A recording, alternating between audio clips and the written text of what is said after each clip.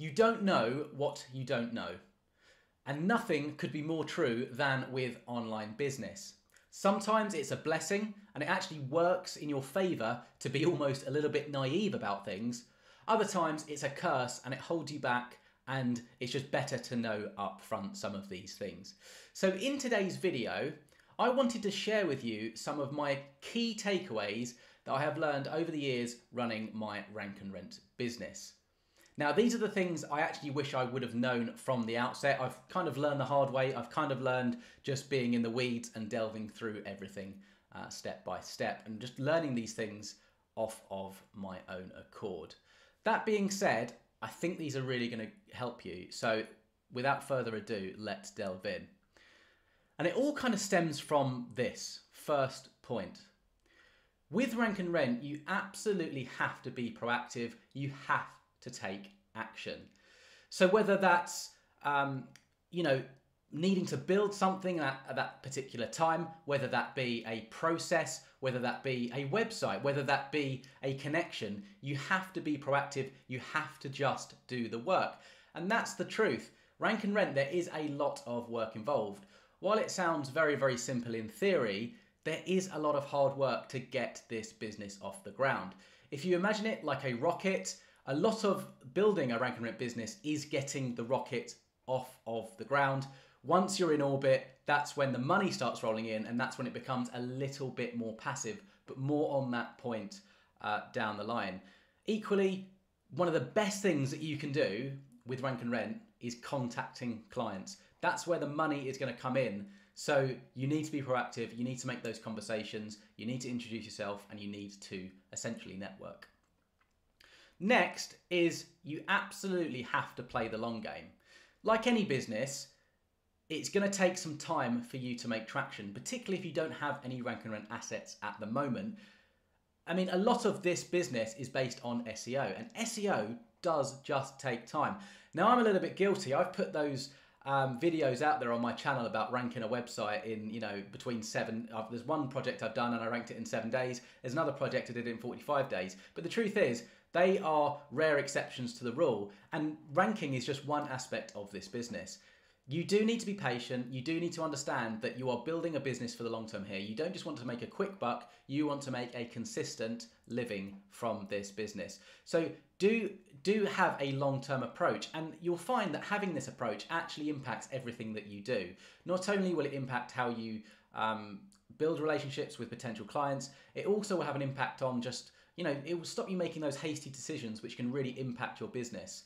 Uh, you know, for instance, it will stop you building those potentially toxic or dodgy backlinks because you'll realize that, you know, sometimes it might be better just to wait for a better opportunity down the line.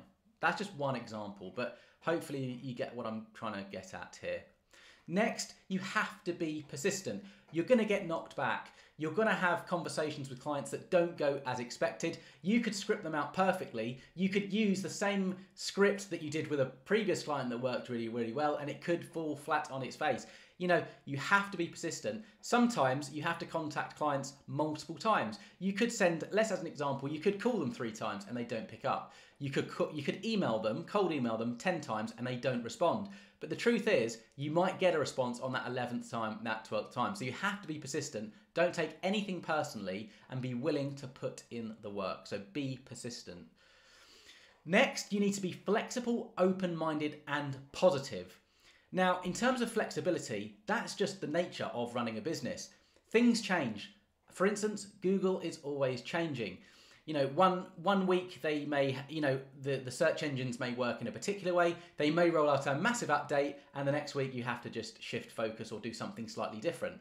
At the same time you need to be open-minded with your projects. You may for instance start a project in a particular um, niche and then you may notice down the line that it actually works in your favor to, to go into the sub niche. So you might need to kind of restructure your website. You may need to delete things off. You know, there could be a lot of hard work that you've put in um, for, for that for that kind of structure or whatever, and you may need to readjust it, or you may just need to um, scrap that project altogether and you know maybe delve deeper in, into a new project that's kind of based off of your old project. You see where I'm going with this? You really need to be open-minded, and at the same time, you need to be positive the whole time. You need to believe that this will succeed being positive is not only important for how you run your business, but it's also important for how you come across to clients. If you're not positive, if you, don't think this can work, if you don't believe that you're going to ge- generate profitable leads for clients, how are you going to sell them? You need to believe in the business as well. If you if you're here just to make money and not to help clients, this isn't the right business for you. You also need to be willing to take risks and make mistakes.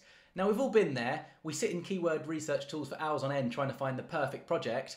But the truth is, unless you have a project that's actively, um, you know, being built or actively at least has a chance of ranking, you're never going to make any money with this business model. And taking it a step further, there'll be some things, you know, you, you may want to, for instance, you may want to kind of stick close to kind of white hat techniques. So a white hat SEO that is. So you know, really, really following Google's policies, etc., which is always something which you should be doing. But at the same time, you may need to do a few things which you, you may feel a little bit uncomfortable with. You need to take those risks. It could be holding a conversation with a client that you just don't want to have. It may be saying something to a client that you just would rather not say. Maybe you're not confrontational. You know, maybe they're paying you $500 a month for your for your rank and rent asset but the leads are worth far more to them, and you should you should probably be charging eight hundred dollars, thousand dollars. You need to have that awkward conversation, obviously at the right time, obviously framed the right way, but you need to be willing to to take those risks essentially. And with anything in life, you are going to make mistakes. It's just a matter of how life works. As long as you're learning from those mistakes, as long as you are putting those lessons into practice into your business, then ultimately you are only going to succeed because with each iteration you are getting better. So, for instance, you could start five projects, they could all absolutely flop, but you could learn one essential lesson on each project. By the time you got to the sixth project, you've got five different lessons, perhaps in five different fields, which are all being funneled straight into that project. So, that project, for instance, that sixth project, has a massive chance of success. That is just life.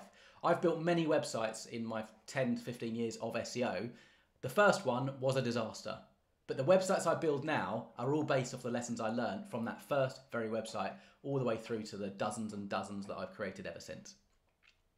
Next, and this is really, really important, especially as you scale and build that portfolio, is you're only as good as your processes and systems. And I'm going to take this a step further. This business model is only enjoyable when you have the right processes and systems in place. Now, this takes time, it also takes experience, it also takes a bit of knowledge, you build this as you go. Don't worry so much about having everything optimized from the outset, but at the same time, maybe document some of the things that you're doing, some of the things that are working well, and that you can, um, you know, build into future projects. So I'll give you a, a, prime example of this, and I've, I've made my, one of my webs, website templates available for purchase purely because it benefits me so much. Every time I start a new project, I just import that template because I know it works, I know it converts, and I know I can save myself a considerable amount of time upfront building a website just by importing that template in. That's a process that I've built in. In terms of systems, you know, I use the same social media profiles, I use the same citation service, I use the same tools. That's all about the processes and systems. I've put them in a certain order. So when it comes to building a new project, I don't feel overwhelmed. I can get everything set up in minimal amount of time. I create a minimum viable product. We try to get it ranked and we go from there. That's what this is all about. You're not going to perfect everything from day one. It does take time as well, but it's all about systems, it's all about processes, and it's all about momentum.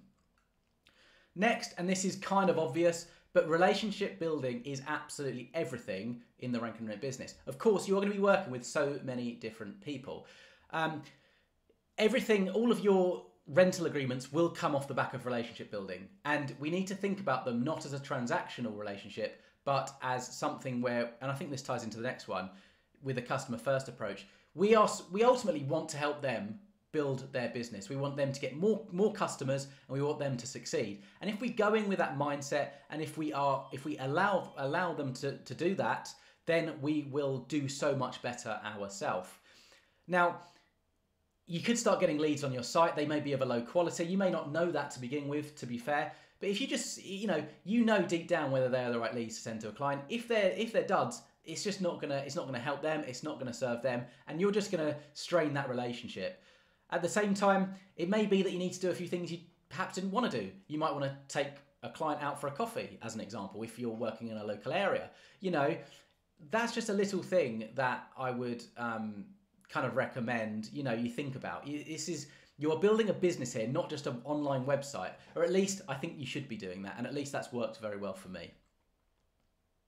And there's a, I'm going to touch upon this in, in a future point actually, because this ties in with something else I want to mention. I also want to mention that there's also multiple ways to go about rank and rent. Now, I teach a lot on this channel about you know ranking websites, and uh, there's going to be videos on how to contact clients, etc., etc. But the truth is, rank and rent can be done in various different ways. For instance, you can go for really, really specific sub niches in really kind of uh, specific areas, or you can go more national. You can you can rank out rank out. You can rent out um, an entire site to a client as an example, or you could rent out individual landing pages to multiple clients. So you could kind of be in multiple different locations at a time, all based off one asset. So yeah, there's loads of different ways to go at rank and rent, and there's loads of different means of uh, monetization as well. It doesn't just it doesn't just have to be a flat fee. You know, ultimately, when you th- think of rank and rent, you're thinking of renting out the entire website. That's typically the, the the method and model to go down. But when you think about rank and rent, as long as you're ranking and as long as you're renting something out, so you're renting out your lead form as an example, then this this this whole model applies essentially. So as an example, um, and I think Jacky Chou talks about this a lot. Um, he he does a lot of um, he what does he call it again? Uh, retail rank and rent. So as an example, he does a lot of affiliate marketing. So he has like a a lot of ranking articles in the search engine, you know, best best something for why something, and he will basically because he's ranking so well and he's, generating so much revenue uh, for those uh, different uh, products, he is reaching out to different companies and he is basically reformatting his list based on who pays most. So he's renting those positions. So you see what I mean here? There's so many different ways to implement this. It's not just your typical service location. It's not just local businesses. And another thing about it as well is you don't just have to work with local businesses. You can work with online businesses as well. So I mean that's a topic for another time. There will be a video on that. But just get keep thinking. There's so many different ways to, to go about this. Next is budget accordingly. Now, this may or may not be something that is you know you have to worry about but it is if you are on a very very limited budget it's also very very um, important if you you know you're not quite sure how much it's going to cost etc etc etc you want to forecast ahead um, you know you may yeah you may just have you may have limitations with your budget i do actually have a separate video on how much it costs to start a rank and rent business i suggest you watch that you can find that on my channel um, maybe run a little search on my channel there. Uh, and maybe I'll drop a link in the description as well. But yeah, budgeting is so, so important. I would say that, you know, you need to invest in your business because ultimately that's going to enable you to succeed. There are things you're going to need, there are tools you're going to need. But at the same time, you don't just want to waste your money. You want to be a little bit um, you know, for instance, you want to start with uh, the minimum expense possible. So when it comes to building these websites, you don't just want to throw money at them uh, willy nilly. Even if, if you if that's if you have got the budget, of course. You want to spend your money appropriately, and you want to make sure that it's going on the right things. So, as an example, um, you know, you may be really really tempted to buy backlinks. Obviously very very important but that comes in time. You know you want to give your site a chance to rank before you even need to throw backlinks at it. That's just an example. You don't want to throw them at your website right, right off the gate. It's also not a very good seo practice either. So that's just a little example of that.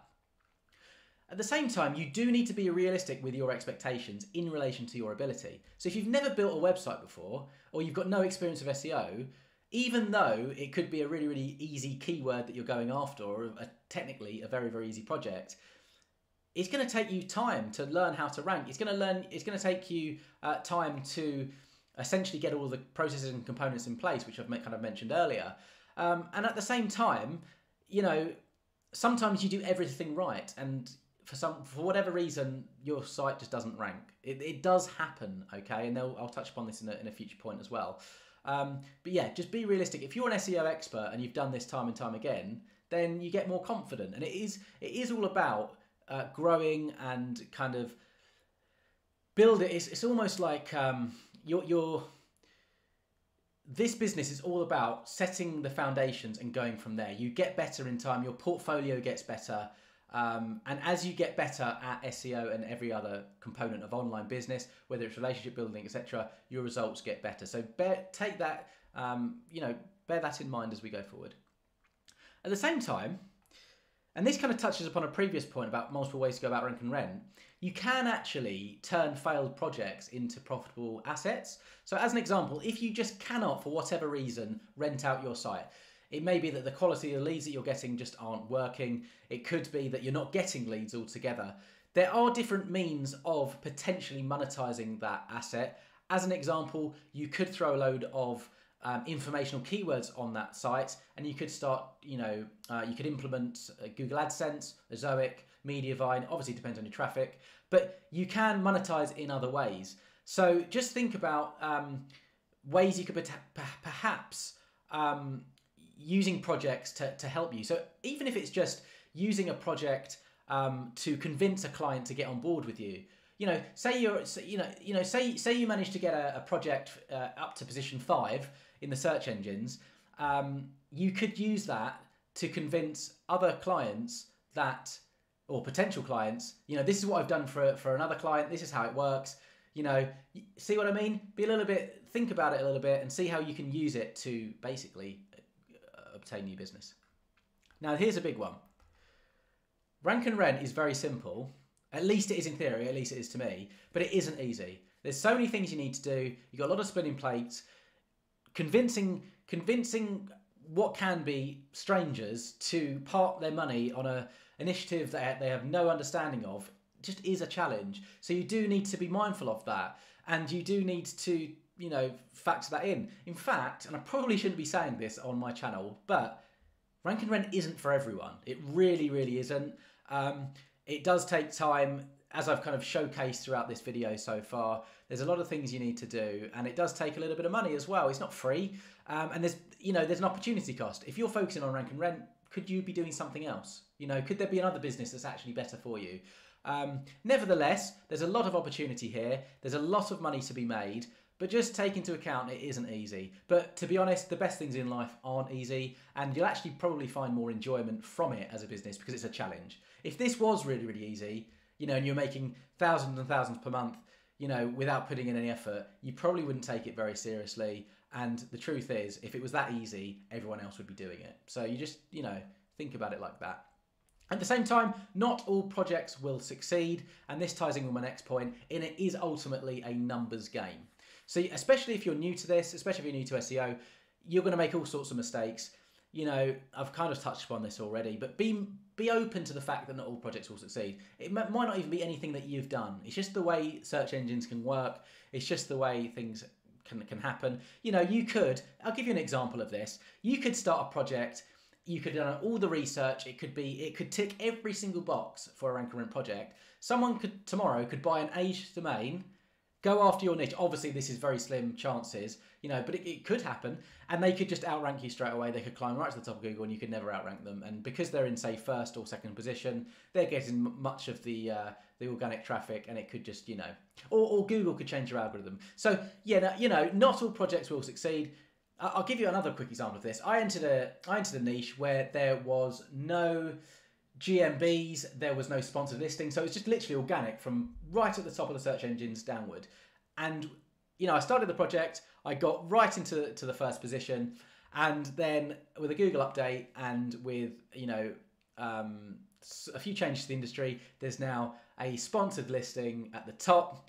Um, the Google service ads, um, which go right to the top. There's a GMB. There's a people always ask widget, and I'm I'm still in first position in an organ- organic sense, but I'm pushed right the way down, and my traffic's taken a massive hit, and ultimately that project isn't as successful as it once was, or as as valuable to a client as it once was. So we have to we have to take these things into account, okay? And that's why it's a numbers game.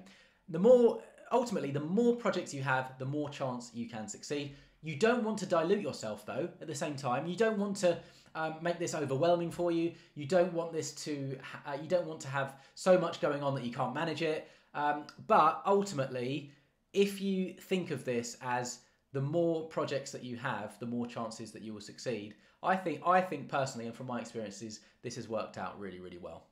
Also, it puts less pressure on each project, and it stops you kind of being really pedantic on them. And you know if you've got one asset you can you can sit there you can literally go in the rank tracker every day and you can sweat over it. You can put all this pressure on it. It's not i, I think it's a very nice way to live or, or run a business. So i like having multiple projects.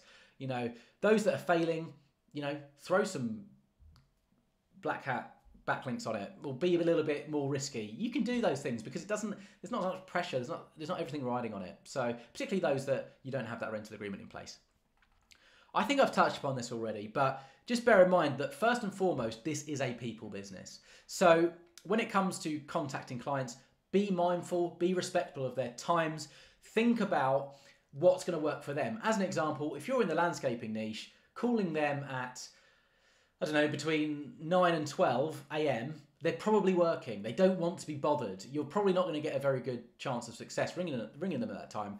They, excuse me, it may be better to contact them in the evening when they're typically. Sorry, I'm this burping a lot. It's disgusting. Um,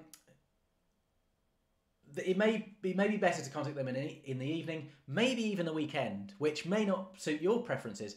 At the same time, you know, uh, uh, if you're in the, as I say, lawyer niche, uh, solicitor, obviously very very competitive. But let's just say we're going for a more professional niche. They actually may respond better to emails, and it may be better to contact them early morning. You see what I mean? Because they come into the office, it may actually may be better to email them at 6 a.m. because that's going to be the first thing, hopefully, that they see. So you have to take these things into account. Remember, there's people, there's people at the other end of this. It's not just a business. It's people who want to, and we need to find out their goals, their motivations. They may um, not be looking for more business. You know, you might get rejected from a client because um, they're happy with their current level of business. They don't want to take on more more work. They don't want to expand any further. So bear that in mind as well. Now this one is really really interesting, and I think to be honest, I've not really mentioned this much on this channel before, but I think this is one of the most golden ways to get started. I'm probably going to release a whole video on this. Don't forget you're in a circle.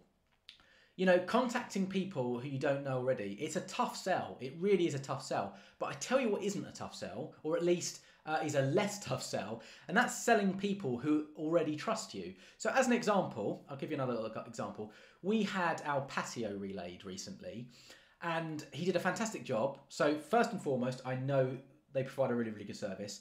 He charged us a reasonable rate, so I know he doesn't take the mick uh, on that alone. Some people obviously shop for price. And third, I now I, I, had so many different conversations with him. I built a relationship with him, and not only that, did a little bit of digging. He doesn't have a website. His company doesn't have a website, and I know he's looking for business. So I can. I'm. I'm actually going to do this. To be honest, I haven't done it so far for full transparency, um, purely because I've got so many projects ongoing. But I'm going to contact him, and I'm going to say, look, you you um, I think you could really benefit from a business. I do this. I do this. I do this uh, for full for full time. This is what I, I'm, I'm doing well at how about you know i obviously talk I need to think about how i'm going to frame it but basically i'm going to go to him and i'm going to present the whole model to him. And hopefully fingers crossed this is i will have such a, a high chance of getting him to become a client. At least putting him in the in the in the uh, the search engines at least boosting his business because he's not doing it at the moment. So any business he gets from online is going to be uh, a win. It's going to be it's going to be um, progress for him so that's that's just a little side anecdote, little side story. But think about anyone you may know who, you know, it could be a, a, a physiotherapist, it could be a, a, teacher who wants to tutor online. Yeah, any of these different any any different service, if that you know, friends, family, etc., even just um, people you know in your community, personal trainer as an example, anyone you know, think about how you could perhaps get them on board with Rank and Rent that they are going to be an easier sell than um, uh, cold calling people. Sorry, I lost my mind there. I've been talking a lot. We are getting there, but keep watching. There's there's some really really important really important points. You what with whatever happens with rank and rent, and this is really important, is you will acquire skills along the way, and you just don't know where those skills are going to take you. As an example, I've talked about this already in this video. My first ever website. I didn't know what I was doing. I didn't know about this is such a long time ago. I didn't know about anything about SEO. I didn't know anything about keyword optimization. I didn't I just didn't know about anything entities. There was so much I didn't know. I made so many mistakes, but I learned so many skills and you will do that. So if you are new to online business, building websites, even if it's just sales, and contacting people, cold calling, cold emailing, etc., you are going to learn so many different skills in Rank and Rent that even if worst case scenario, because it does happen, not everyone succeeds with this business, as as does not every um, not no not everyone succeeds with any every type of business. You you get business closing down in the high street, you know, food shops, um, food shops, you know, food takeaways, those kind of things. You see them go, going out of business all the time. Um, you know, businesses always fail. There's a, such a massive failure rate, but nevertheless, with rank and rent, what I'm trying to say is you are going to acquire very very valuable skills which you can use going forward. Whether it's you know if you can learn lead generation, think how valuable that could be to a business. You know, any business on the planet. If you can learn sales, think how valuable that's going to be to any business. SEO is such a huge, huge skill to have um, in your arsenal. So, whatever happens, rest assured, building a rank and rent asset portfolio is going to really, really serve you. Okay, and I think that is so, so important. And we're nearly there. I also want to mention this because I think this gets branded around a lot and it's just not true. Rank and rent can be somewhat passive. It can be, and you can really put in a lot of different processes, systems. You can get members of staff. You can outsource lots of things, but it will never be truly passive. It it just won't. There's always something you're going to need to do, whether it's on an existing project or, let's be honest, you're just going to want to start a new project. You're going to want to scale this as far as you can. So even if you have three rental agreements, you're doing really, really well with them, you're going to have an itch to go again. Trust me, I've been there. You're just, you're to, the thrill of it all, the, the journey is where all the fun is. You're to want to keep going. And for that reason, it just won't be truly passive. And things change, as I've mentioned throughout this video. Algorithms, um, you might lose a client and you need to go through that whole process of finding another client. You know, this isn't a truly passive business. It can it can get very very close to being one, and different processes, different elements, maybe even different sites may be passive for a moment in time, but they won't be forever. So don't kid yourself. Um, and to be honest, would you want it to be truly passive? Imagine having this as a truly passive business. Probably be quite boring. You know, what are you going to do with your day? um, now, this is my final point. Um, but I hope this video has been useful. Any questions, comments, feedback, drop them down below, by the way. It only does take one client. You could have five clients that just don't succeed. Five clients, five projects that just don't succeed. For so many different reasons, they could fail. But your sixth client could be the one that takes off. And from that one client, you could build an absolute empire. I'll give you an example. You could have five websites that cost you that cost you in total, let's just say for argument's sake, plucking this a little bit out of thin air, but it's also relatively realistic, um, a thousand pounds, thousand dollars. You could get a rental agreement at, for you know, on your sixth project, say at three thousand dollars per month. You could have a client on that project for three years. That's thirty-six thousand dollars. The net delta of that is thirty-five thousand dollars in your pocket. But you could have given up on the first project. You could have given up on the second project. You could have given up on, you know, there, you have to keep going because if you land one client, honestly, there's so much money that can be made. And not only that, you can actually, I don't really want to use this saying, but I'm thinking like cash cow. You can actually milk a client for quite a lot of more money than just one site and one asset. You could you could set up sites in different verticals. It could be different services that they provide. It could be in different areas. So as an example, if you were doing a landscaping company in a particular city, you may find that down the line they offer landscaping services in a neighbouring city. Now, your whole niche site that your niche site, you're I'm making a lot of mistakes now. My brain's starting to go. Don't worry, I'm nearly finished. Your whole rank and rent site that you're charging them three thousand dollars a month for, three thousand pounds a month for, um, could actually just be so specific, so set up in such a way that you can't scale out to that next neighbouring location. But if you built a new new new asset and then rented that out to them for another three thousand dollars a month, you see what I mean? You see how this can scale. You could talk to them. You could find out they are very very close with um, a plumber, and you see what I mean. That ties in the relationship building side of things. But what I'm trying to say is, one client can literally change your your entire business. So as I think I think that's it, thankfully, because I'm I'm losing my brain, I'm losing my voice. Um, as I say, any questions, comments, feedback, drop them down below. I hope this video is useful. I really do. If it was useful and if you're still watching, please mention that below. I want to know that these videos are helping, otherwise I just simply won't record them. Um, so yeah, with all that said, best of luck, luck with Rank and Rent, particularly if you're yet to start. You can really succeed with this business, um, and I hope that I can help direct you to do that. And with all that said, I hope you have an excellent day.